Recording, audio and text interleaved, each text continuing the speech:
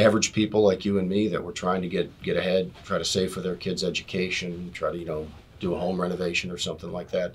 And a lot of that is really lost in, in this story, right? You know, um, there were some very high end, very wealthy investors, but there were other people that were devastated by this individual. I mean, there are people who had serious psychological issues. These people have been through hell. Yeah. I mean, people lost their life savings.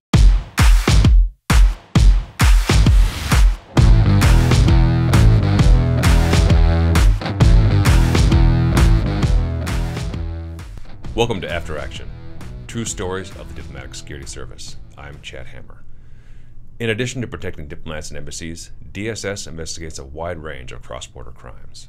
With us today is DSS Special Agent Ryan McSeveny, here to tell us about one of his most audacious criminal targets. Lifelong con man Anthony Gignac successfully posed as a Saudi prince to bilk millions of dollars from investors large and small. Thanks, Ryan. Welcome. Thank you. So, tell me a little bit about how this was set up when you arrived at Miami. Sure, hurricane had just come through Miami, pretty much devastated the city. This is in September of 2017. Okay. I had left UNGA, To the UN Assembly, which is our United Nations General Assembly. another big rite of passage for DS Sure domestically. is. Yeah. Sure is. So Okay. Got to Miami, hurricane had really devastated the city, and uh, got to the field office. I was an acting unit supervisor at the Okay. time. And um, first weekend I was driving through Florida, trying to, uh, because of the flooding and all that, it was a bit difficult. But I got a call from a first tour agent who said he had a lead on someone who might be posing as a diplomat and uh, committed some type of financial crime. Okay. How did this lead come to us? So, a private investigator with a, uh, a hotel in Miami Okay. um, referred the case to the FBI. It made its way to our JTTF agent, the DS agent on the task force who looked at it, referred it to Miami field office, and then it was given to this new agent to uh, to look into as a lead. Okay. And this new agent had a background that helped him, I think, a little bit with this case. Yes, he was an attorney by trade. Uh, he had previous uh, government experience. Okay. Great. So he was very familiar with you know legal process, indictments, affidavits, things like that. So he was Okay. a very savvy investigator. So, what did he bring you? Um, he brought me some information that this person was, in fact, uh, Anthony Gignac, career con man with a long rap sheet of conning people. Started small with credit card fraud, hotel fraud, things like that, and then it escalated over the years.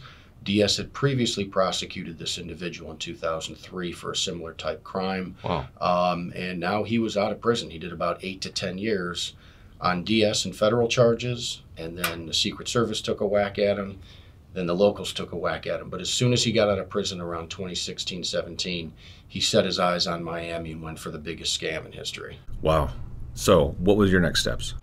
So I told the agent, and again, I didn't know him very well, um, but I said, you know, forego the training that we was a requirement the following week. We were Mm. doing a uh, range day and then some other type, you know, agent training. Um, Because he was also new to the office. no, I think he'd been there for about six or eight months, but Okay. we were doing sustainability skills training, things like that, driving, shooting, Routine training. physical yeah. training, things Okay. like that. I said, just make sure you have something to show for it. You know, um, I said, all right, I will. So get through the week, and he came to me and he said, look, we have a meeting with the AUSA who's going to accept the case for prosecution. Okay. I said, let me review it before we we go over there. You know, just standard DS procedures, and the case was airtight. Um, he had run all the checks in the consular consolidated database.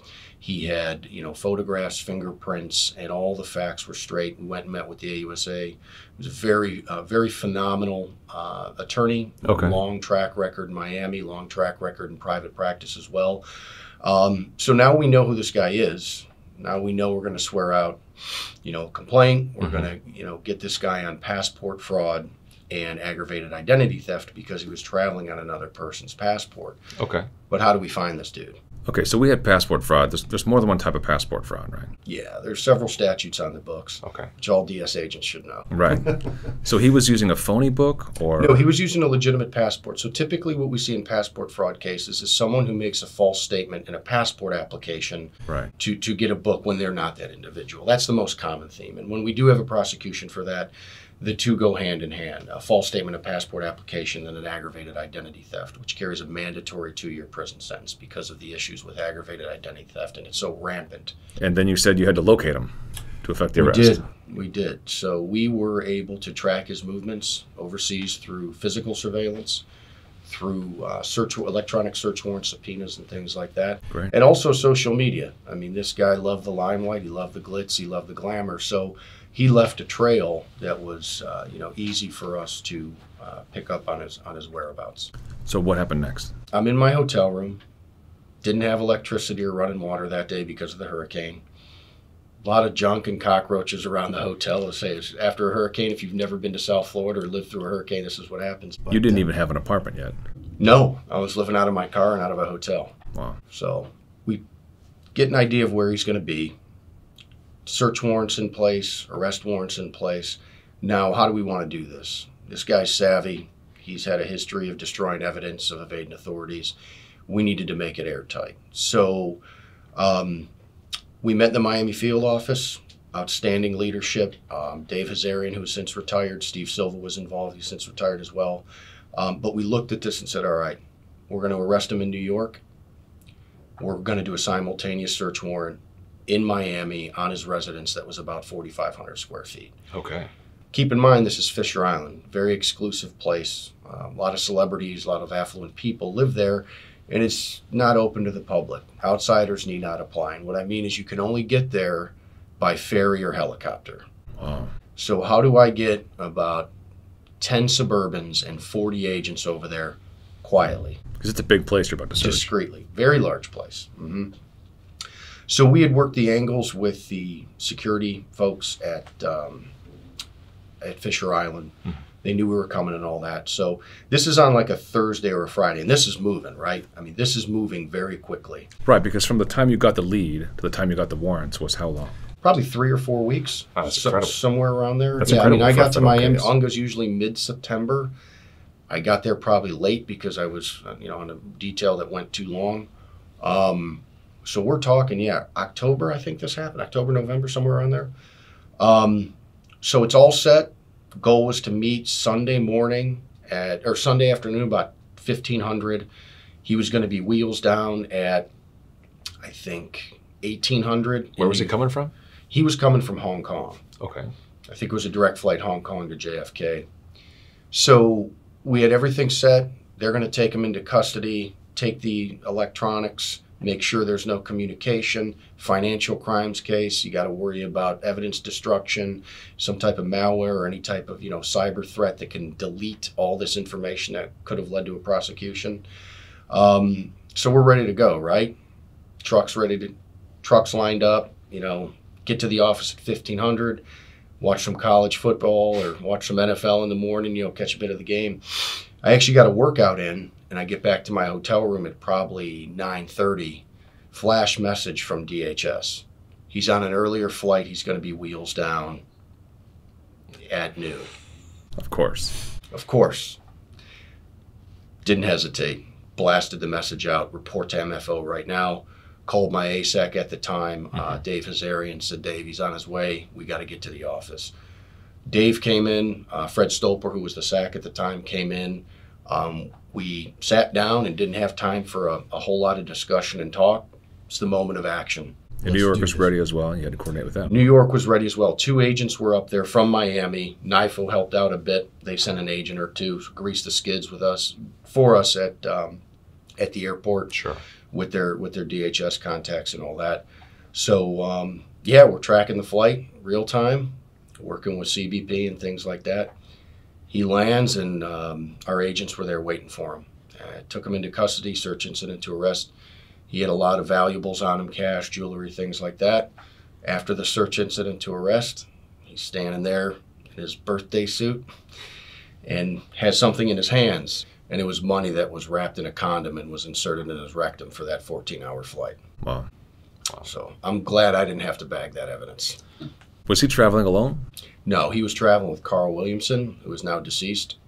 He Killed himself um, as a result of all this, but he was his uh, he was a co-conspirator.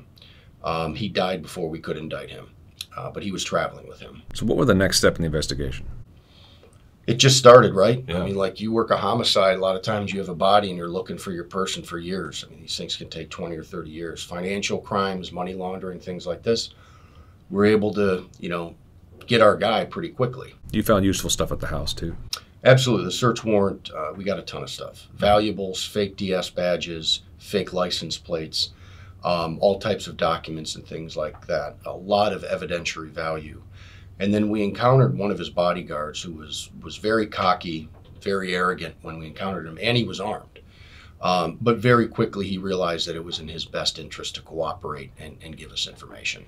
He led us to a, um, a storage unit and another vehicle that had a lot of cash, a lot of valuables, and things like that. So we knew at that point that this man was a flight risk, and he knew authorities were getting close. The bodyguard told us that he was instructed to start moving things and get storage units.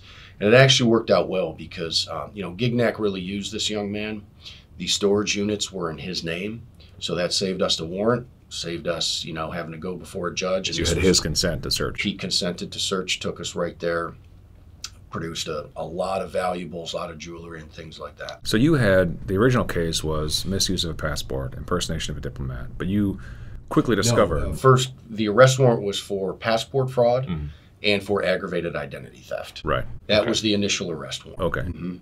So after we started looking at the initial tranche of evidence, and after, you know, everyone had to go on TDY, everyone had a detail to work on, no one wanted to deal with the evidence, and and you know the painstaking process of doing this stuff. And hey, that's that's a criminal investigation. You have to do this and things like that. But you know, at the end of the day, a lot of agents came forward and, and helped out with this stuff. But um, through that, we were able to determine and and prosecute on the uh, impersonation of a diplomat charge. And now we have all this electronic evidence. I knew this was a financial crimes case. Where's the money? Okay. And where's the money coming from? Exactly, exactly. And early on, it was very much like, okay, let's get him again on, you know, eight or 10 years, passport fraud, identity theft. And I'll never forget um, talking with my, my supervisor at the time, Dave and He's like, what do you think's going on here? I said, I haven't pinpointed it yet. There's something larger going on here than the Fontainebleau. But I said, my theory is he's luring investors with the Saudi Aramco IPO, which was a legitimate thing at the time. The Saudis were trying to diversify their economy off of oil. They came up with this Vision 2030, openness, more transparency, things like that. It was really pushed by Mohammed bin Salman, who's the, the crown prince now. Let's back up a little bit. So Gignac was posing as a Saudi prince. Correct. Right. So that's also kind of where this hinges. So he was using that identity or that status to gain the false faith of investors? That's absolutely right. Okay. And so, what kind of projects was he hoping to, to, to use to get money? Anything you could imagine, anything under the sun that would, would attract people who had money and capital to invest. Pharmaceutical projects, hotels, um, what else was he involved in? Um, oil and gas ventures, things like that. So he and his conspirator were posing as legitimate businessmen? Correct. How were they doing that? So the the co-conspirator Carl Williamson was an attorney. He did have some experience in that world, but he was the face. He was the recruiter. He was very well spoken. He was polished. He was from the UK, the accent, the whole nine yards. So he would go to people and say he represents a Saudi prince that has interests and would like you to invest with him, and he has capital to put up. Um, he went to uh, famous sports figures who who took the bait, right? Wow. And again, I mean, I remember when I moved to Miami and I was looking at houses. Um, my real estate agent at the time told me, she's like, "Hey, look around here. There's a new Saudi prince in town. He's buying everything up." And I was like, "Shut my mouth here." you know, shut. This was before the uh, this was before the arrest warrant. Wow. Um, but yeah, and he just you know looked the part, went to the nice places, went to the Four Seasons, went to the big hotels. But this was also his mo. If you look at his rap sheet, over the years, dating back to the 1980s and 90s, he would stay at hotels, run up bills, and then take off. And in Miami Dade, there's no shortage of scam artists. So, wow. Miami Dade financial crimes, their police won't touch something unless it's under a certain threshold. He knew that threshold, but he knew how to push the limits. But there's always something about hotels with him. So the Fontainebleau was a storied hotel itself. Right? Yeah, absolutely. I mean, if you've ever seen the James Bond series, um, Sean Connery, I think he was the original James Bond. They filmed there in the 50s and 60s. Wow. Elvis Presley, Sammy Davis Jr., they all used to play there, hang out there. 80s and 90s, was a big hub for boxing. Um, Roberto Duran used to fight there.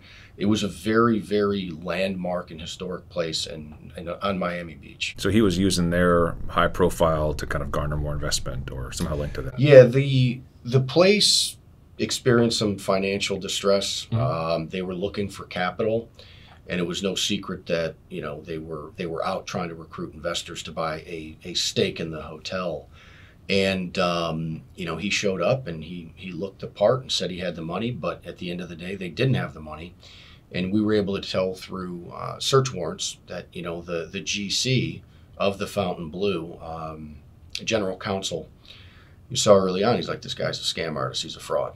Which kind of led to us getting a lead sure- in the first place. Yeah. Yeah. If you're gonna if you're gonna buy something, you got to show proof of funds. You have to show you know this that and the other. But he played them very well. I mean, they took him to Aspen. He picked up the bill. Um, another story that's gone largely unreported is um, he kept offering to take people on his private plane and his private yacht. Well, I mean, when it came to do that, he didn't have a plane and he didn't have a yacht. And they did go out on a yacht near Fisher Island at one point, and um, one of the people said, "This is a leased yacht. Why is this Saudi prince on a leased yacht?" And again, his temper, his behavior. I mean, he is a sociopathic imbecile that doesn't care about anybody or anything. Yeah. He would berate his staff, yell at people, scream at people. And again, I mean, it just wasn't a way to handle yourself around, you know, people that are, you know, trying to invest with you and things like that. Gignac doesn't strike me as a particularly Saudi name. He's not at all even connected to the Saudi nation. He's Right. born in Colombia. He's a naturalized American citizen. Got it. So, and if you've ever if you've ever seen him or the photos, which I will be happy to dig up, it looks like a Saturday Night Live skit. So tied to the hotels, tied to these phony businesses, he was luring in big investors, but there were other scale of victims too, right? Yeah, yeah, there were um, average people like you and me that were trying to get get ahead, try to save for their kids' education, try to you know do a home renovation or something like that. And a lot of that is really lost in in this story, right? You know, um, there were some very high end, very wealthy investors. But there were other people that were devastated by this individual. I mean, there are people who had serious psychological issues. These people have been through hell. Yeah. I mean, people lost their life savings. Um, you know, Carl Williamson is not innocent by any means. Um, and unfortunately, um, he killed himself. Tell me a little bit about. So you couldn't arrest him that day in New York because you didn't really understand yet his role. How did that part of the case develop? So this is so Gignac's arrested sometime in November. Now we have a lot of evidence coming in, terabytes of data, lot of lot of hard evidence, um, fake DSS badges, license plates, sports memorabilia, paperwork documents, things like that. Fake, fake diplomatic license plates, Correct. and then did you say fake badges? Yeah. His his agents, his security detail were posing as DSS agents. That's that's ironic. Yeah. The Oh. badges were very good quality too. The rest of the aftermath. So you were able to find overseas bank accounts, and how much money did you estimate he had swindled? Gignac had swindled, Eight altogether. point two million dollars. and so there was no trace of that money, right? Or Well, sure there was. We had to find it. what what had he done with the money? I'll say. Uh, he spent it. He spent it. All the things you saw on Instagram, the lavish lifestyle, um, the cars, the hotels. I think his apartment was about twenty thousand dollars a month. He spent the majority of it, um, but again, some of the money was put in places that are not too friendly to the United States government. Some places that might be sanctuaries for illicit funds and you know, people like that. We went looking for overseas accounts. Yes. How did you how did you work that out? So we were able to determine through electronic search warrants that he had bank accounts in foreign countries. And there was a specialist you worked with. It was a forensic accountant who was assigned to the Diplomatic Security Asset Forfeiture Division. And that helped a lot.